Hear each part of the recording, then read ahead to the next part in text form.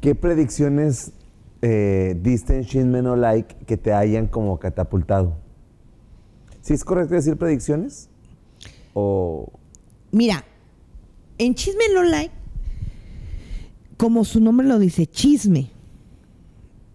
A mí me preguntaban quién estaba dentro de la religión, el por qué había eh, cantantes, este, por qué había eh, locutores y, y que tapaban el sol con un dedo.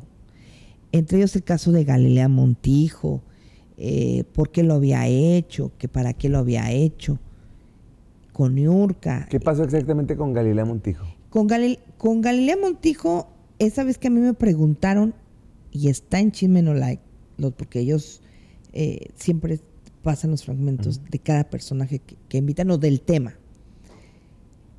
El por qué se había metido, y yo lo dije claramente, la- ella se metió por poder. A la religión. Sí. O sea, Galilea practica la religión. Sí, ella es hija de Ochun. Y después de que, bueno, entró ella a la religión, ese día en ese programa nunca se me va a olvidar que yo lo dije, que ella lo había hecho también por otros intereses que tenía con otras personas. ¿Por qué sabía del tema? Porque el cubano que yo te estoy diciendo que me llevó a Cuba, o Juan Imelli, también fue padrino de, De Galilea. de Galilea Montijo en su momento. Pero ella no lo hace público. No.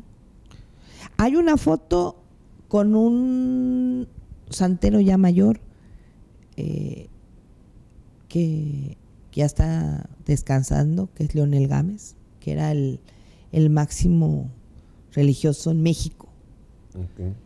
Y él sí fue su padrino directamente de Galilea, que fue el mismo padrino de Daniel Urquiza, que falleció, el de las extensiones. Y que ese mismo padrino, que, aunque ya haya fallecido el señor, de Talina Fernández. Talina también. Sí, Talina, Talina, Talina supo mucho a la gente cuando la llevó Adela Micha a su programa y ella expresó que ella era hija de Obatala con Yemayá y que era santera. Y que llevaba los mismos años que tiene muerta Mariana Levy, porque la señora hizo lo mismo que yo. Fue a buscar Ayuda. ayuda espiritual con, por parte de la hija.